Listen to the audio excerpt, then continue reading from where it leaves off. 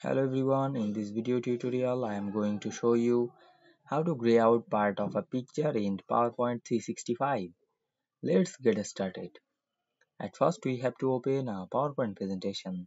Now we want to make gray out part of a picture in this presentation. Firstly insert a picture in another slide.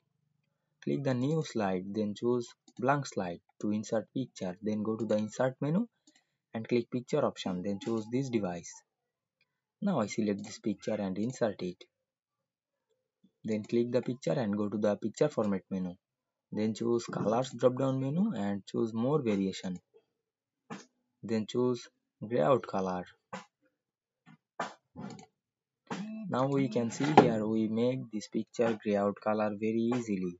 I hope you understand this process and enjoying the video very much. Don't forget to subscribe my channel and thanks for watching the video.